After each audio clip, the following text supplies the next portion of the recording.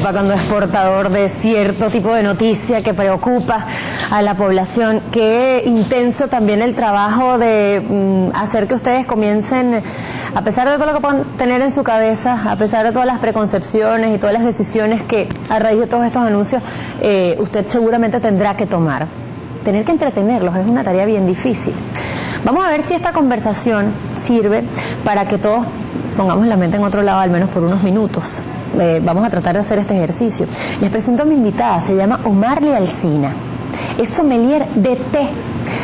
Y resulta que es una mujer eh, zuliana que se ha dedicado a recorrer algunos sitios del mundo y que le ha dedicado su vida a esto, a conocer cómo se puede combinar una sustancia con otra para hacer de allí eh, un té inspirador, relajante, que te puede hasta enamorar.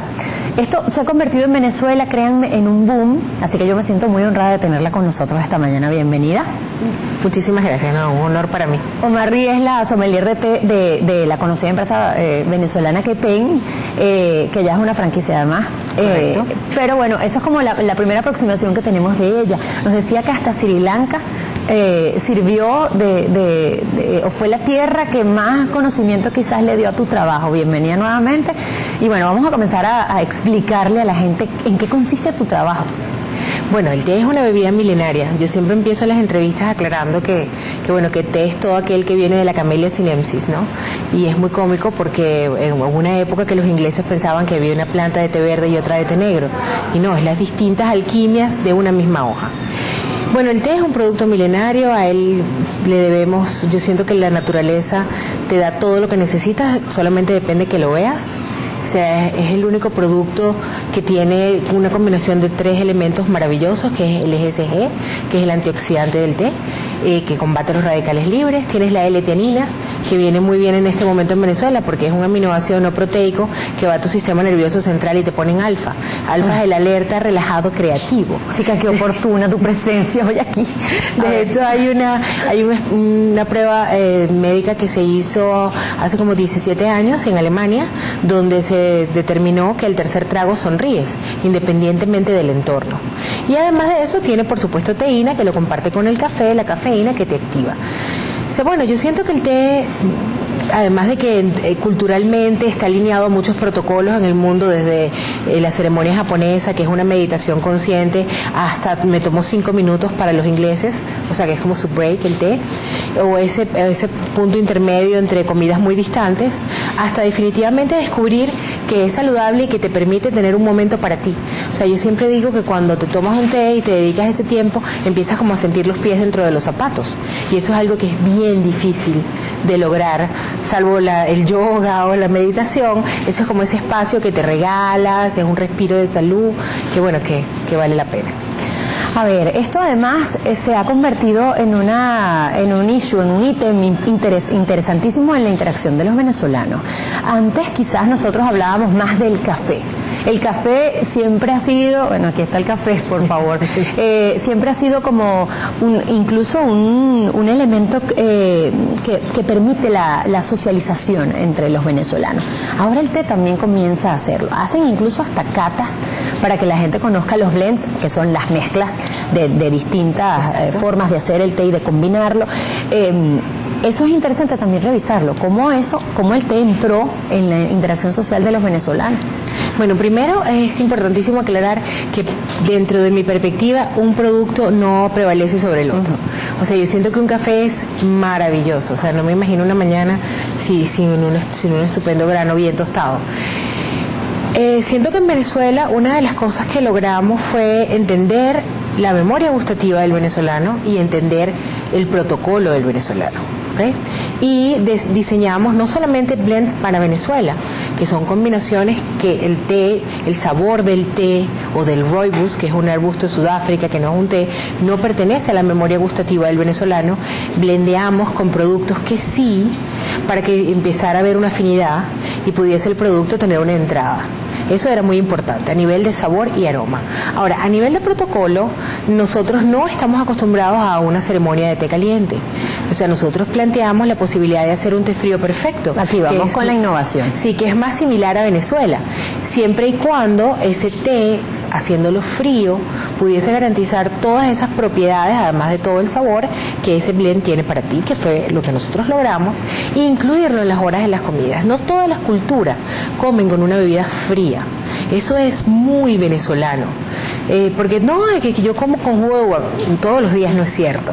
O sea, realmente nosotros somos una cultura que tomamos con la comida gaseosa, jugo, limonada, bebidas frías. Lo que nosotros hicimos fue un blend perfecto diseñado para que tú lo disfrutaras frío y además de tener una bebida que cumpliese tus requisitos básicos, que era refrescante, dulce, este, fría, grande, que son características bien importantes para ese mercado original para nosotros que era el maravino, ¿no? Porque bueno, era más fácil, está mi esposo, están mis hijos, están mis amigos, o sea, qué mejor prueba piloto que esa, además no tienen ningún tipo de conocimiento de té. Bueno, vamos a ver cómo yo hago que este producto llegue a ese gusto. ¿ok? Y perfecto combinado con el café. De hecho, yo siempre digo, la diferencia entre el té y el café está en cómo tú absorbes la cafeína en ambos productos. O sea, el café está acompañado de grasa, un grano de café tiene 70% de grasa y la cafeína se absorbe de manera inmediata. Eso te pone en un estado que se llama exaltado, es beta, es totalmente reactivo, es el que te permite mantenerte vivo, ¿ok? Pero un café tiene 500 miligramos de cafeína, mientras que un té negro, que es el que más tiene, tiene 0.05 miligramos. Ahora, el té lo acompaña de astringencia, quiere decir que esa absorción es lenta. Por eso tú dices, ¿un té me quita el sueño? Sí, durante 6 horas. Sin exaltación, dentro de la calma, dentro de la creatividad, pero no te da sueño. Un café te quita el sueño, te mantiene exaltado por 45 minutos y después te da un down. Por eso es que un venezolano promedio se toma 8, 10, 6 tazas al día, porque está todo el tiempo en esos picos. Y siempre coloco el ejemplo, tengo unos amigos que tienen algún problema de pareja y dicen, nos vamos a tomar un café. No, eso va a terminar en divorcio. O sea, ese no es el Estado para llegar a un acuerdo. Tómate un té y busca qué, cuáles son los puntos en común, desde una manera más creativa, desde una manera más calmada, o sea, disfrutando hasta conversar de las diferencias. He visto que el té que comercialmente eh, en este momento tú eh, tienes pues eh, a, la, a disposición del consumidor tiene un procedimiento bien particular de prepararse. Quizás no lo habíamos visto antes y esa es una de las innovaciones que, que quería compartir antes de despedirte porque este tiempo es sumamente corto. Pero tienen la, la, mezcla colocada en un envase, le suman a eso el agua caliente, pasa por allí y esa mezcla cae luego en el vaso que ya tiene hielo. Todas esas concentraciones tienen que estar medidas para que el blend tenga eh, el sabor que tú estás buscando. y además las propiedades. O sea, el té, al igual que el jugo de uva, tiene taninos, ¿ok? Y los taninos se infusionan constantemente, se multiplican, ¿ok? Se vuelve ácido. No, no me gusta el té porque el té es ácido, el té es amargo. No, ningún té es ácido ni amargo. Si está así, está mal preparado y ahí ya no hay ESG, ni L-teanina, ni teína para ti. Es un agua colorada que da gastritis.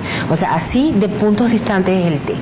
Nosotros logramos ese protocolo perfecto, frío, y además lo hacemos de manera educativa, ¿ok? Para que cuando tengas una bolsita en casa, que aunque no sea la mejor hebra premium del mundo, hay té ahí, lo puedas disfrutar. Agua libre de cloro, nunca llegar al punto de ebullición, o sea, una hebra no tolera más de 86 grados, la vas a chicharrar y no va a haber nada para ti. El tiempo, las cantidades, o sea, son 2 gramos una bolsa de té para una taza de café con leche si luego lo vas a hacer frío. Si no, una bolsita te funciona para dos tazas de café con leche.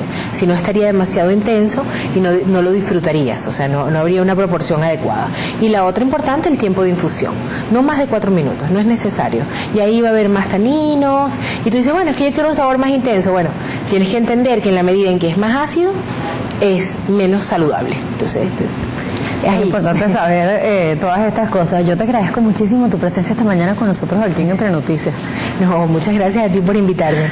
¿Tienen, tienen ustedes, tienes tú una cuenta de Twitter, la gente te puede seguir, a ti y a Kepen? Correcto, eh, sí, ahorita vamos a sugerir que tomemos mucha calma.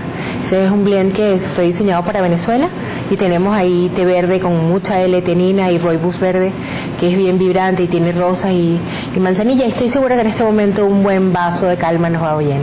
Tienes uno que es una pastillita que vamos a dar solamente para el Día de los Enamorados. Sí, se llama Vitalidad. Ajá. Sobre todo si la vas a pasar en la playa, Vitalidad le roncan los motores, como dicen los venezolanos. ¿Qué tiene de particular para que sea así? Eh, vitalidad es una base de té verde y una de las grandes propiedades que tiene el té verde es que ayuda a tu piel a combatir, a combatir los efectos del sol.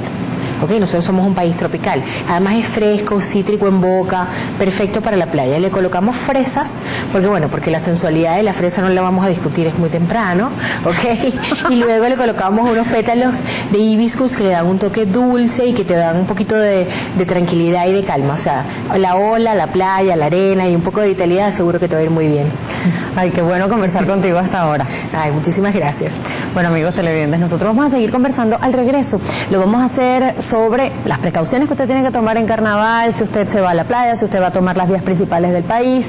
Nos va a acompañar el director de Protección Civil del Estado Miranda, está con nosotros. También vamos a tener